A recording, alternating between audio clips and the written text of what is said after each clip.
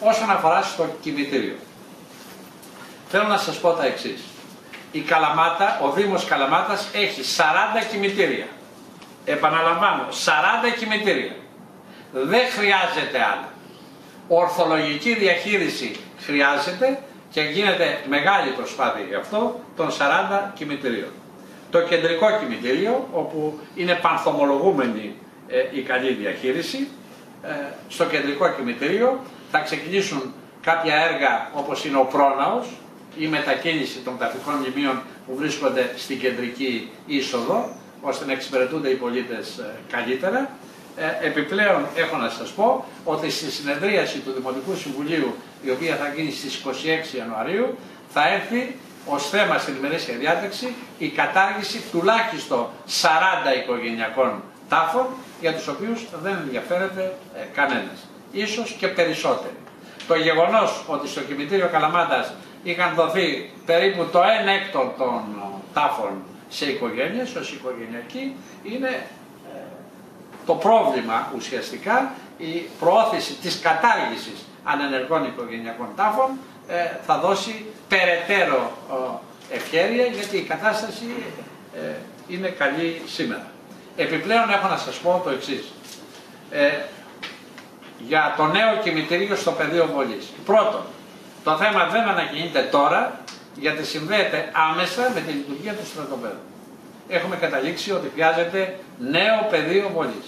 Δεύτερον, δεν υπάρχουν τα χρήματα για την μετακίνηση του πολιτικού σκοπευτηρίου, που είναι μια πάρα πολύ ε, δύσκολη υπόθεση. Τα τεχνικά χαρακτηριστικά, σας λέγω μόνο, δίνονται από την Γενική Γραμματεία Αθλητισμού. Και ασφαλώς χρειάζονται και χρήματα. Δεν μπαίνω στο ζήτημα της άδειας ε, σε ζητήματα περιβαλλοντικά, που είναι ένα μείζον θέμα. Η πόλη δεν έχει πρόβλημα. Ο Δήμος δεν έχει πρόβλημα με τα 40 εκμετήρια που διαβαίνει. Χρειάζεται νοικοκυριό, καλή διαχείριση και ασφαλώς και έργα επεκτάσεων κλπ. Όπου αυτό είναι αναγκαίο. Όπως το ασπρόχημα που κάναμε, όπως την βέργα που κάναμε, όπως στο ελεγχώριο που έχουμε προχωρήσει τις σχετικές διαδικασίες. Λοιπόν, Ευχαριστώ πάρα πολύ. Ο Δήμος εγκαταλείπει οριστικά το σχέδιο για νέο νεκροταφείο. Όριστε. Ο Δήμος εγκαταλείπει οριστικά το σχέδιο του σχεδιασμού. Όχι, αλλά κοιτάξτε.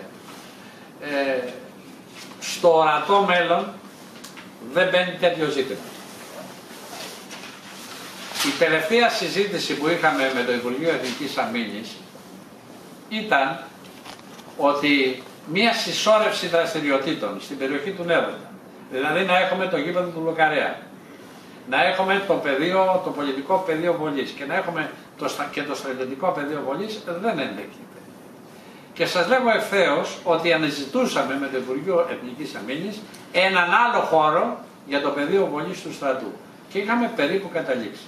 Επειδή όμως το ζήτημα του στρατοπέδου είναι ένα ζήτημα το οποίο χρειάζεται πολύ μεγάλη προσοχή λόγω της ευαισθησίας και να μην επεκταθώ περαιτέρω. Ε, πρέπει προς το παρόν να μείνουμε εκεί ε, που είμαστε. Δεν έχει ξεκαθαρίσει κανένα ζήτημα, διότι ακόμα και στο νομικό συμβούλιο δεν ε, μας έχει απαντήσει περί του εισαξίου της περιοχής των χρημάτων που δίνει ο Δήμος, τα ξέρετε από το ρεπορτάζ από παλιά, σε σχέση με αυτό που προτίθεται να δώσει το Υπουργείο Εθνικής Αμήνης. Αλλά σας λέγω το εξής και να προχωρήσει αυτή η διαδικασία. Δεν είναι βέβαιο ότι περιβαλλοντικά θα έχουμε τις αδειοδοτήσεις τις οποίες επιθυμούμε. Και επιπλέον, για να γίνει ένα καινούριο κημητήριο χρειάζεται πολλά εκατομμύρια ευρώ. Έχετε ότι είναι, νομίζω ότι είναι εύκολη ιστορία να στήσεις ένα κημητήριο από την αρχή και επιπλέον το ιστορικό κημητήριο που άρχισε να χρησιμοποιείται από το 1840 προφανώς δεν μπορεί να καταργηθεί από κημητήριο.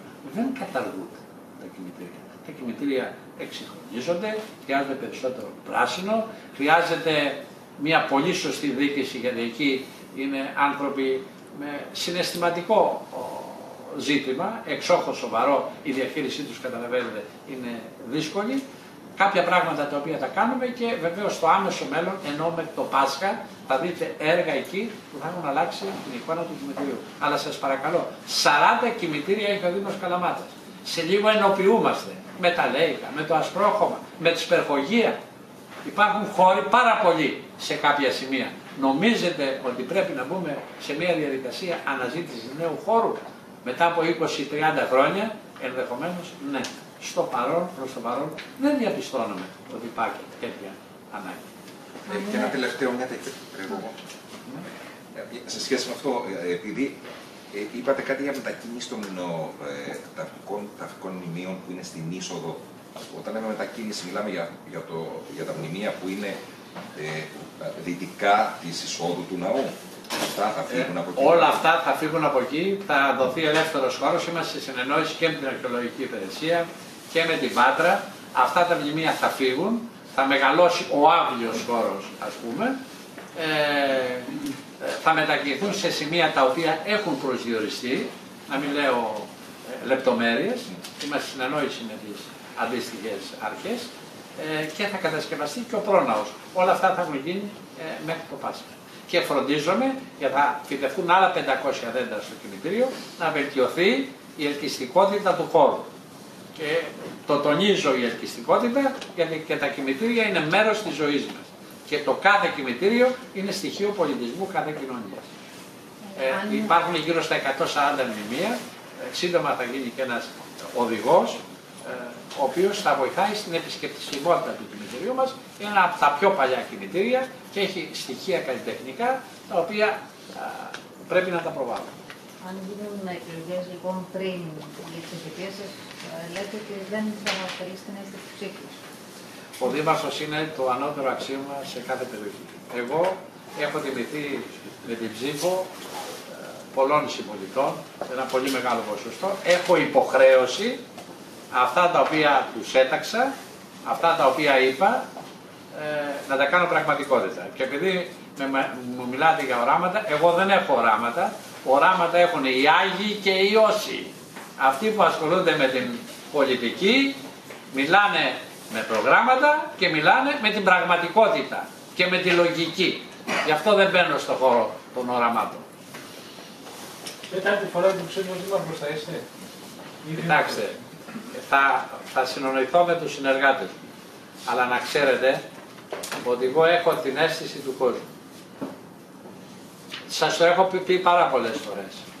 Ότι κάποτε όταν θεωρείς ότι ολοκληρώνεις το έργο σου, πρέπει να φεύγεις. Αλλά ο πρώτος που πρέπει να το κουβεντιάσεις είναι με τους ανθρώπους που κάνεις αυτόν τον αγώνα. Και να τα κουβεντιάσει όλα αυτά μέσα στο 2018. Δεν θεωρώ ότι τα αξιώματα είναι για κάποιους. Κάποτε πρέπει να τελειώνει η ιστορία με τα αξιώματα. Το πότε θα γίνει αυτό θα το μάθετε. Έχουμε δυόμιση χρόνια θητεία ακόμα. Στη μέση είμαστε. Βιάζεστε. Ε, όταν θα, κατα θα κουβεντιάσουμε με τους συνεργάτες, με τον κόσμο, θα έρθει και αυτός ο, ο καιρός. Και εγώ μέχρι τότε έχω υποχρέωση και απέναντι σε εσάς και απέναντι στους δημότες να κάνω το καλύτερο δυνατό. Γιατί είμαι δήμαρχος σε εποχή ακραίας οικονομικής κρίσης. Να μην το ξεχνάτε.